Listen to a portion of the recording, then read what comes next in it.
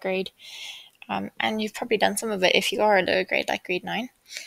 Um, so products of algebraic expressions, it's just a fancy way of saying, can you multiply everything out? So product means multiply, okay? So can you multiply everything out? And then usually the next step, so sometimes they say multiply, sometimes they say expand, so same idea. So multiply everything out or expand the expression, and then can you simplify it? So if you have, you know, any numbers that you can add up together, any variables you can add up. So in this video, I'm going to work through a few, just the, the kind of things they can ask you on. Um, but please let me know if you have any questions on the in the comments. So let's get into it. First of all, we've got this is called. You don't need to know it; they would never ask you this, but this is called the product of a bi product of binomials. Okay, the reason we call it that is we are multiplying two binomials. So these are called, this is a binomial and this is a binomial. It just means they've got two terms in the brackets. How we multiply these out is you use what we call, some people say the FOIL rule, if that helps you remember it. So it's the first terms, the outer terms, the inner terms, and then the last terms. Okay, so what we always have to do is we have to multiply everything by each other. So how we do that is first of all, we do the first terms. Okay, so our first terms here, we've got this, it means the first terms in the bracket. So we multiply those two by each other.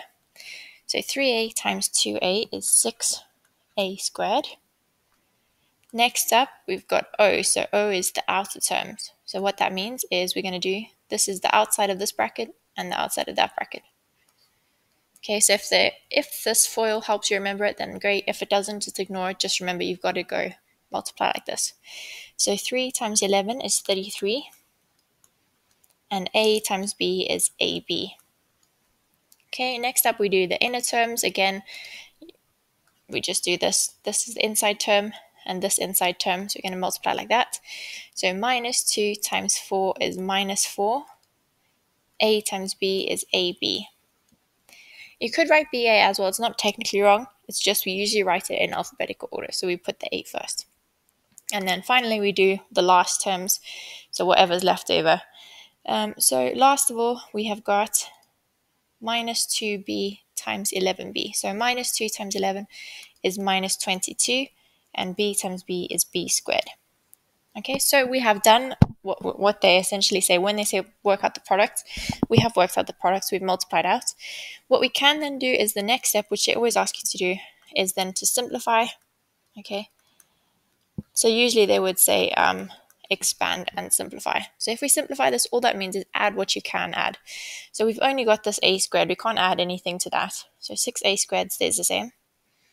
But here we've got an AB term and an AB term, so we can actually work with those. So 33AB take away 4AB. 33 take away 4, sorry, 33 take away 4 is negative 29AB. And then we can't do anything with that B squared term. So that is going to be our final answer there. So it's just really important. They ask these product of binomial ones a lot because they want to make sure you remember to multiply everything in the brackets. Next up, we have got, it's basically the same thing. They just wrote it a little bit differently. So the question again would be um, expand and simplify. So let's just write it here just so you can get used to seeing the type of question. So they would say expand and simplify this algebraic expression. So they've written it in a bracket here, but this square, what that actually means is actually it's exactly the same as the one before. It's 2x minus 1 times 2x minus 1. Okay, so that square is just showing we're timesing it by itself, so it's actually right like this. So we have to do exactly that same method from before. So we're going to go first terms, 2x times 2x is 4x squared. Then we're going to go next terms. Um, so it's our inner term, so minus 1. Nope, sorry, that's not right. I'm leading you astray. Um, we're going to go 2x times minus 1. Okay, so that's minus 2x. Next up, we have got the inner term, so minus 1 times 2x is minus 2x. And then the outer, the last term, sorry. So last terms, we've got minus 1 times minus 1, which is positive 1. Okay, so that is our expanding part done. You've got the mark for that. Now we just need to simplify. So 4x squared, that's the only thing there with an x squared, minus 2x minus another 2x is going to give us minus 4x and then plus 1. So what you're going to start to see is it's always going to be these inner terms that you can simplify. Okay, so you can usually do something with them because we can add x's, but we can't add x's and x squareds. Okay, so just be careful that that doesn't that that doesn't trick you. Next up, we have got another one of these, just slightly different terms, so maybe it's a little bit more difficult. So I'm just going to run through this quickly just so you have some examples, um, but you can skip ahead if this is getting too easy for you now. So um, we said, okay, it's the square brackets, which means it's the bracket times the bracket.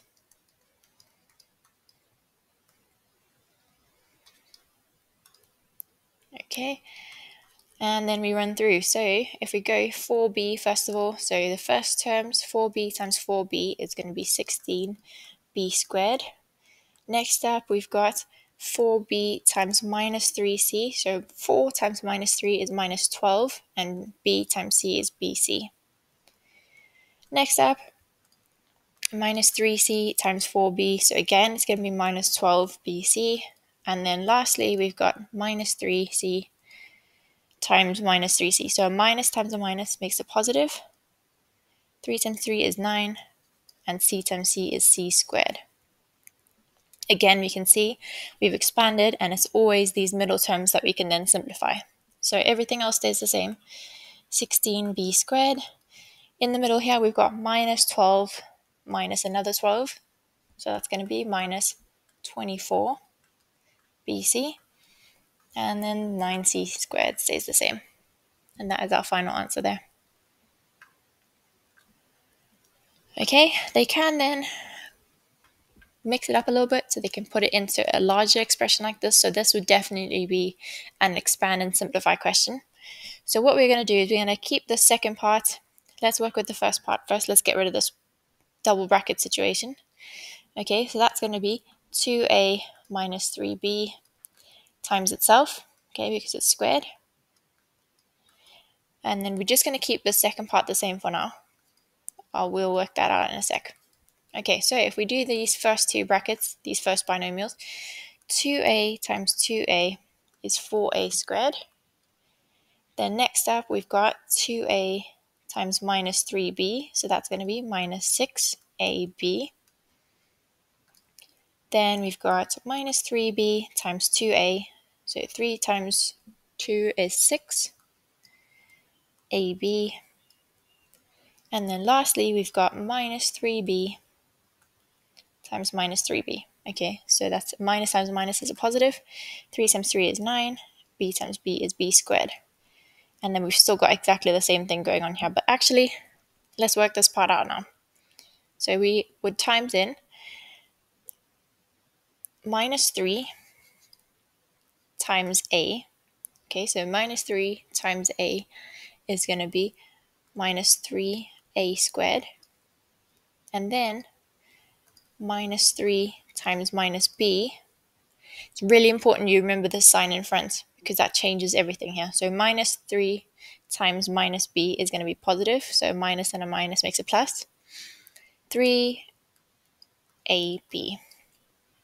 Okay, so that is all our expanding done. Now we can go through and add up the similar terms. So I'm going to highlight all the a squareds first of all. So 4a squared minus 3a squared. Remember you keep the sign in front, that's really important. If we add those up, let's see, we're going to get 4a squared, take away 3, so we're going to get 1a squared.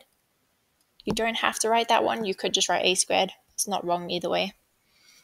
Then let's do all of our AB things. So we've got minus 6AB minus 6AB. And then 3AB. Okay, so negative 6, take away another 6 is negative 12.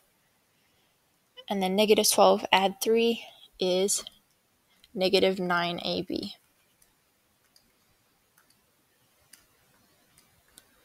Okay, and then we are just left with this 9b squared, so we can just add that on.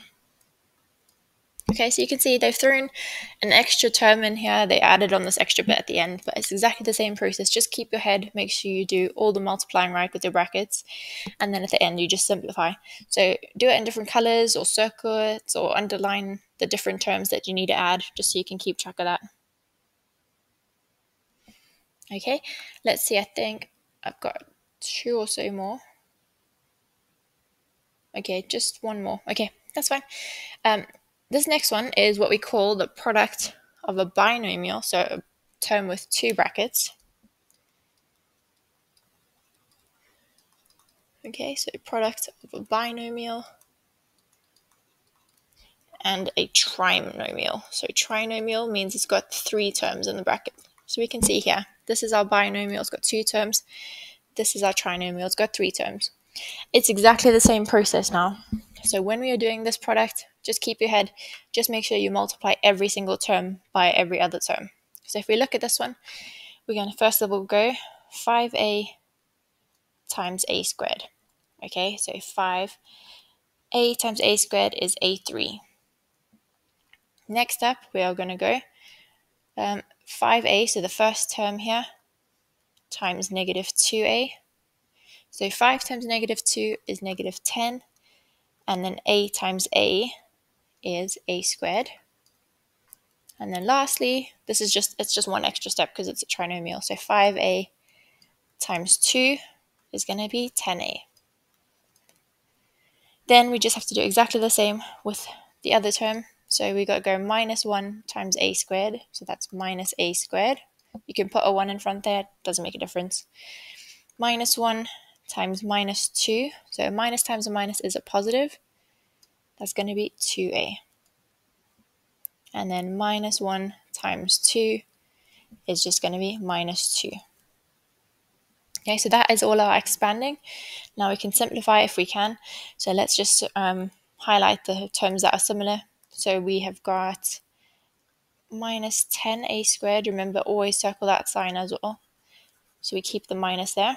So minus 10a squared and minus a squared. And let's see what else have we got. Oh, we got a 10a and a 2a. So we can sort those out as well. Okay, so we can't do anything with this a cubed. So we're just going to say 5a cubed.